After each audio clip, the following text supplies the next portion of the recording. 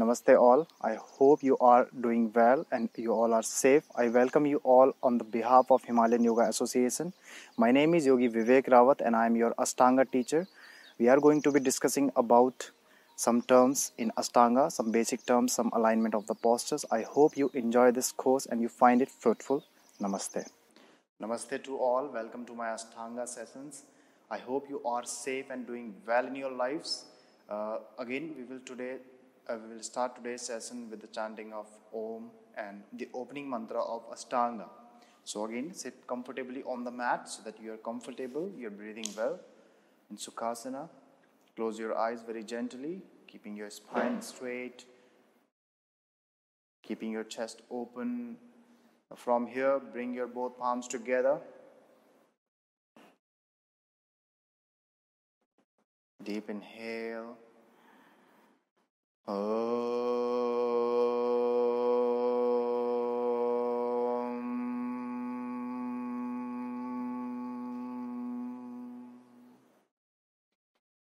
वन्दे गुरुणां चरणारविन्दे सन्दर्शिता स्वात्मा सुखावबोधे निःश्रेयसे जङ्गलिकायमाने संसारा हला हला मोहशान्त्यये आबाहु पुरुषाकारं शङ्खचक्रा सिधारिणं शस्त्रशिर संस्वेतं प्रणमामिं patanjalim.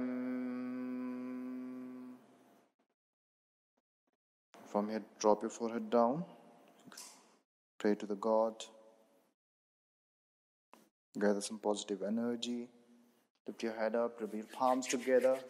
Create a nice energy between your palms. Place your palms on your eyes, on your entire face, on your throat, on your chest, on your heart. Release your arms down, open your eyes by looking down. So in today's session, let's just discuss about, let's figure out how to perform Janu Sirsasana. So there are three variations of Janu Sirsasana in Ashtanga primary series. And these Janu Sirsasana, uh, you know, the Janu means in Sanskrit, it is about your knee. So it is about knee twisting. So Janu Sirsasana A, B, and C, it keeps on, you know, challenging your knee joint in a different level. So there are different variations. Uh, there are modifications of that if you are not able to perform that, if you are struggling there. So let's have a look here. So after following the half vinyasa, we are going to be in Dandasana, staff pose. After here, what we are going to do, so the first variation is a kind of, you know, uh, you'll feel that it is very easy. But the second and third one is a kind of postures, is a kind of set of postures which is going to challenge you. So just let's have a look from starting. So from Dandasana, bend your right knee, drag your right heel towards your perineum. Rest the knee down, so your knee is facing towards your right side and heel close to your perineum. So as you can see from here, so right foot is almost towards perineum, knees facing towards the right side. Right sole is against the left inner thigh. Left leg is completely straight. So now from here as you inhale lift your arms up and exhale bend forward grab the left foot or place your palms down or grab the strap. Like place a strap if you're not able to reach towards your left foot. And stay here. Keep your chest open. Keep your core active. Look towards your big toes. Do not overarch your cervical, your neck, and stay there. Keep your left leg nicely active. If you feel anything around your knee, you can just squeeze the calf and your hamstring against each other as if you're just kind of, you know, squeezing something that will protect your knee joint. After spending five breath here, as you inhale, chest and chin up, look up, and as you exhale very gently, release your leg forward. Again, after again follow the half vinyasa, which is comprised of chaturanga dandasana, lower plank, upward facing dog, and downward facing dog. Again, after half vinyasa, step or jump forward, same posture with the left side. So bend the left knee, adjust the left sole of the foot against the right inner thigh, and then be there. Now, here, this first posture, it is like kind of easy as I said, because you know, almost all the people are able to do it. Some beginners may not be able to perform it, so they can just adjust cushion. So, in any sitting posture, when where uh, you're not, you know, feeling comfortable, where you're rounding your lower back, I just suggest you that always adjust something under your hips, because your hips will guide, uh, will get that kind of elevation from the ground which will allow your pelvic to tilt very nicely forward because whenever your pelvic uh, pelvic needs an anterior tilt your hips to go back. So this is about the forward fold now the second posture is Janu Sirsasana B the variation B of Janu Sirsasana so after following the half vinyasa again jump or step forward being Dandasana from Dandasana, just bend the right knee, adjust the right foot again, like as we were doing the first variation, the A variation, again do the same variation. Okay. Now from here, what you need to do, so you don't have to open your knee to the right side very like completely. You can just keep your knee slightly like towards forward, towards the front of your area. Now from here, what you need to do, you need to lift your hips up. So you can like press your palms down, okay? Or like you can place your palms forward and then you can like press your palms down and lift your hips up. You can even bend your front knee, lift your hips up, and then shift your hips over your right foot. Right? So as you can see, me again from here, from this direction, from here, you can just lift your hips up press your palms down. You can even use the block or something to lift your hips up. And very slowly and gently make sure that you're not like feeling anything around your knee. So you have to be very careful to get here. So lifting the hips up adjusting the left hip over the right foot. So here knee will come slightly in right? And you will point the right toe. So I always like I also show you from this direction like this. So if I lift my hips up as you can see my right toe what is what it is doing how it is under my hip it is like like this. So the sole of the foot is facing towards the ceiling and it is pointed right? And then you're going to sit over it. Now the knee is almost 70 to 80 degree not at 90 degree not fully like open. So it is like either 70 to 80 degree or less than that doesn't matter it's okay.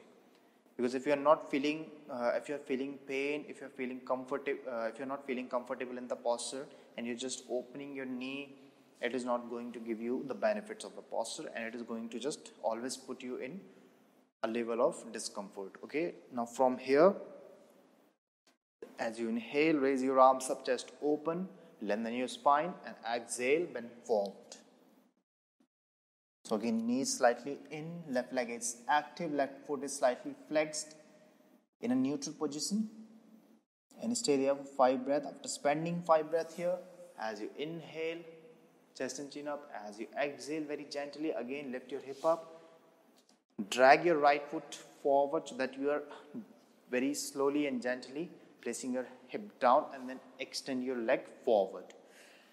Now, this posture you don't have to perform these and the third variation until and unless you don't get a mastery over the variation A.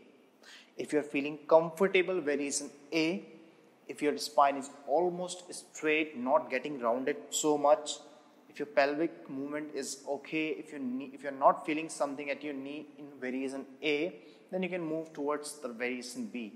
But if you're not comfortable in variation A, I suggest you to not move towards the variation B, because the modification in Ashtanga is like more often um, the previous variation. There are some modification like adjustment with the block belt, but if you're not feeling comfortable at one particular variation, do not go ahead towards the second, towards the next one. This is the key. Now again, after following the half vinyasa, perform it with the left foot. So firstly, keeping it like variation A and then place your hip over the foot and then going down, keeping your right leg active. And again, you can squeeze your calf and hamstring slightly against each other so that you're protecting your knee joint. Now, again, you can spend five breath there and then you can just come out after spending five breath and then you can, follow the half vinyasa again. After following the half vinyasa, you can land into um, Dandasana. Now, this third variation is the challenging variation among all these three. This I will not suggest to you if you are a beginner, even for some intermediate practitioner, it is not suggested. It can be only suggested to those people who have, you know, a good range of motion around the hip joint so it can come like a lot of after a lot of practice or maybe you are already flexible you don't uh, have that kind of life where you know you always keep on sitting or like uh, not do not like rotate your hips out in some movements your hips are like getting stiff do not go to do not try this you know third variation you can just try the first or second variation and then you can move ahead to the upcoming postures. So how it is is we are gonna have a look. So you can just have a look. It's okay. Now from here, after landing in Dandasana, bend the right knee again, knee towards your right side. Now this time you're going to lift the heel up, toe down. So with without any external force, just try to lift your right heel up and right toe down. Now from here, insert your right arm under your shin, right? This is my right arm, and under your shin, just try to grab your right foot and try to lift it up and try to bring it closer to your perineum. If you're not feeling comfortable at any point, stop there. Otherwise, just drag it towards your perineum. From here, again, try to lift your hips up. This thing which I'm gonna do here, only do that if you're feeling comfortable. If you have good range of motion at the hip joint. Otherwise, don't do this. So lift the hip up and try to slowly, very slightly adjust your body forward. So as you can see, it is giving an intense, an intense twist around my knee joint. If my hip is not properly open, it is going to be very harmful for my knee. So inhale, raise my, raise your arms up. So as you can see, my right heel is almost towards the ceiling if not completely but very slightly and my right toe is down so i'm lifting my heel up it is a very intensive twisting inhale arms up and exhale bend forward. And stay there for five breaths after spending five breaths here inhale chest and chin up. Exhale release your arms. Very gently release your legs. The modification is again firstly you can adjust a block or a cushion or double cushion or any bolster under your hips, right? And then you can perform the posture. The second modification is if you are feeling pain around your knee joint, a very little pain, uh, if you need a support, then you can just adjust a block here like this. So block is giving support to my knee joint. But again, I'm suggesting you if you're not feeling comfortable at variation A and B, if you don't have a good range of motion, good openness at the hip joint, do not try this. Prepare yourself for this, but do not try this.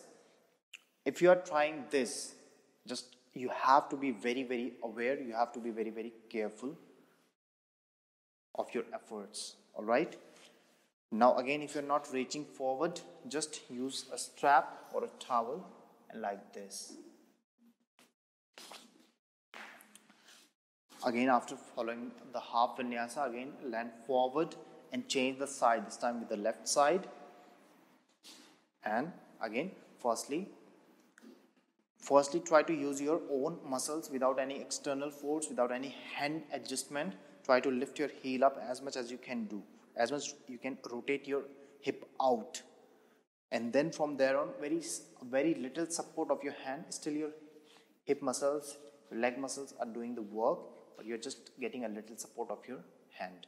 And then you can just stay there for five breaths and then after spending five breaths again come up follow the half vinyasa then we finish these all three variations of Janu Sirsasana. So it is not important to get any kind of external force or even your like hands adjustment like to pull something that will not provide you that much flexibility. Uh, if you do it very actively without any kind of external help, external force, then it is going to be beneficial for you. You will gain the flexibility soon instead of you know pulling something and then thinking that i'm going to be flexible because i'm just doing it very deeply. That is a wrong way to do. So this thing just keep it in your mind. So i hope that you have uh, got the information the proper alignment cues here um, of these three postures so just let's close this session with the chanting of Om and the closing mantras. So just sit comfortably, keep your spine straight, close your eyes and your palms together. Inhale deeply.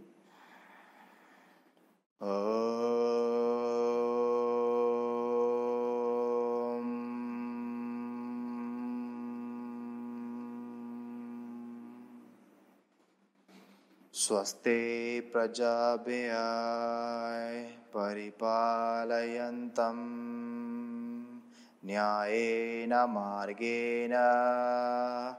महिं महिंसा। गोब्रह्मणेभ्याय। शुभमास्तु नित्यं लोका समस्ता। सुखिनो भवन्तु।